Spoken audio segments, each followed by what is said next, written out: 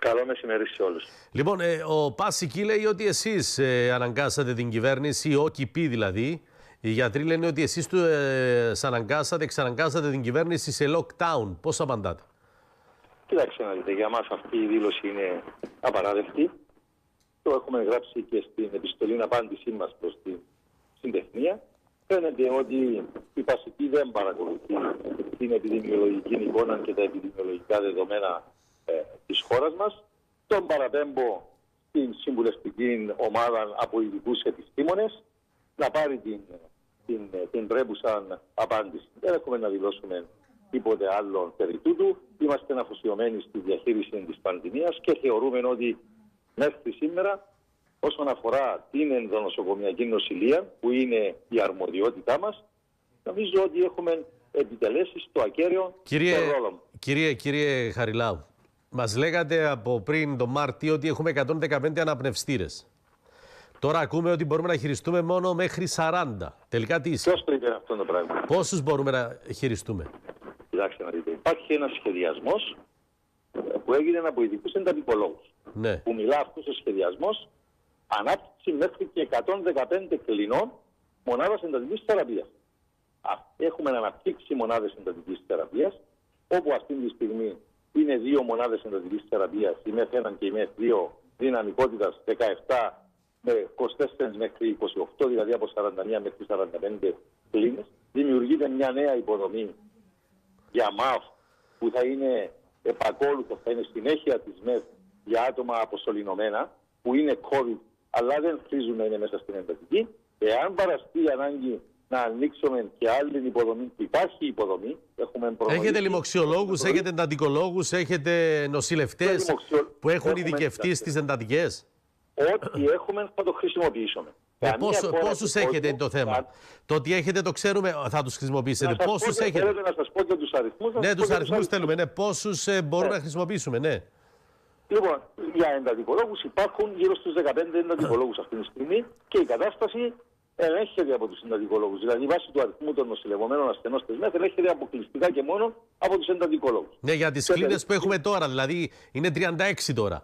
Η εντατικο, η, η- στην εντατική άνθρωποι στον αναπνευστήρα. Αν αύριο γίνουν Και 70, 45, αν αύριο και γίνουν 45. 70, ένα λεπτό. Αν αύριο γίνουν 70, δεν θέλουμε άλλους 15. Ε, εάν, εάν γίνουν 70 ή Ναι. γίνουν 100 και δεν μπορούν να διαχειριστούν μόνο από τους εντατικολόγους. Είναι λογικό ότι δεν μπορούν 15 άτομα να χειριστούν 115 Λοιπόν, πάντως, αναπνευστήρες. Το, το, το έχω πει δημόσια πάρα πολλές φορές. Ναι. Θα ακολουθήσουμε το μοντέλο που ακολουθούν όλες οι χώρες του κόσμου. Γίνεται ομάδα από γιατρό που σε αυτή συμμετέχουν και άλλες ειδικότητες που έχουν την εκπαίδευσή τους στην εντατικολογία. Αναισθησιολόγοι, παραδείγματος χάρη. Μόνο στο Γενικό Νοσοκομείο Λευκοσίας υπάρχουν πέραν των 20 αναισθησιολόγων. Υπάρχει ένας πολύ μεγάλος αριθμός αναισθησιολόγων που είναι άριστοι χειριστές, χρήστες του αναπνευστήρα. Υπάρχουν λοιμοξιολόγοι, υπάρχουν πνευμονολόγοι, υπάρχουν παθολόγοι.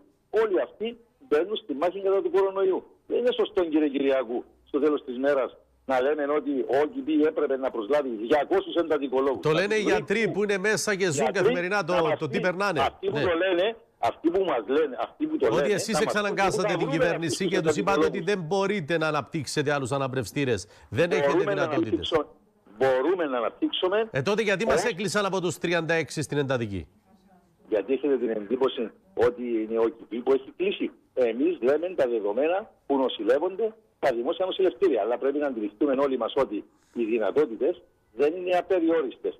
Αν εννοείται ότι πρέπει να αφήσουμε να μην, να μην λαμβάνονται οποιαδήποτε μέτρα στην κοινότητα και να είναι τα δημόσια νοσηλευτήρια. Άλλο ανοιχτά. λαμβάνεις μέτρα, άλλο κλείνεις τα πάντα. Έχει διαφορά.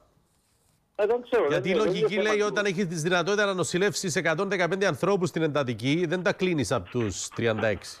Εγώ δεν μπορώ να εκφράσω άποψη κατά πόσο δεν Ακού. πρέπει να γίνει lockdown ή όχι. Δεν είναι ούτε της αρμοδιότητας της δικής μας, ούτε έχουμε ε, όλα τα δεδομένα μπροστά μας για να μπορούμε να πούμε αν έπρεπε ή όχι. Υπάρχουν ειδικοί που το πράττουν αυτό το πράγμα. Τελικά στη Λαμβάνουν Λάρνακα χθες είχαν νοσηλευτεί ασθενείς. Πόσους είχατε, γιατί Υπήρχαν- μας είπαν δεν υπήρχαν υπήρχαν τριπλό- γιατροί και τους πήρατε στο νοσοκομείο αναφοράς.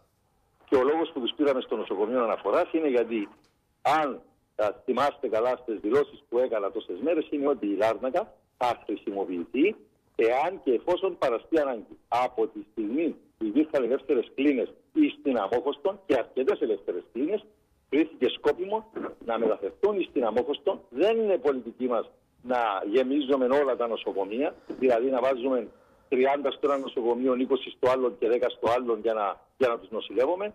Το έχουμε δει πάρα πολλές φορές. Γεμίζει πρώτα η Αμόχωστος και ακολουθεί Λευκοσία Λεμεσός. Όταν γεμίσουν και παραστεί ανάγκη, τότε θα νοσηλευτούν και στο Γενικό Νοσοκομείο Λάρνακας και αν γεμίσει και η Λάρνακα, πράγμα το οποίο ούτε υπολογίζουμε για να είμαστε ειλικρινείς, δεν είναι μέσα στις προβλέψεις μας και, το, και δεν το ευχόμεθα, αλλά αν παραστεί ανάγκη, τότε θα μεταφερθούν και στην ΠΑΦ. Άρα τώρα εσείς μας λέτε ότι έχουμε τη δυνατότητα να στηρίξουμε 115 αναπνευστήρες με γιατρούς, νοσηλευτές και όλο το υπόλοιπο προσωπικό που χρειάζεται. Θα κλείσουμε, θα κλείσουμε όλες τις υποδομές μας, κύριε Κυριάκου.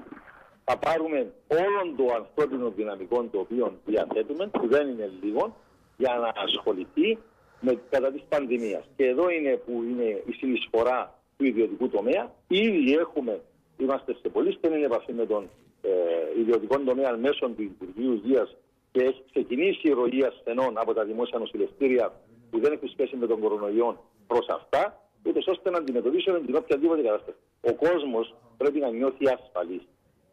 Δεν πρέπει να νιώθει ανασφάλεια ότι το σύστημα υγείας καταρρέει. Το σύστημα υγείας δεν καταρρέει αυτή τη στιγμή.